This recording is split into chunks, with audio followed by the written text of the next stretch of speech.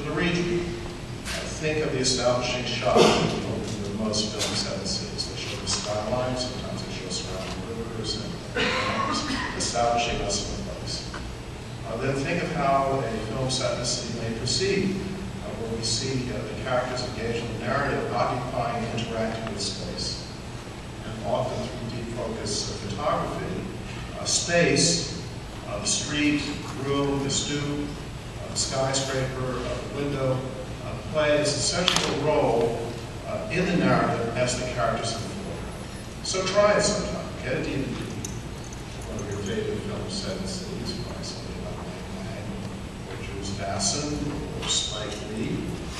Watch it once, then watch it again. The next time, watch the background instead of the foreground.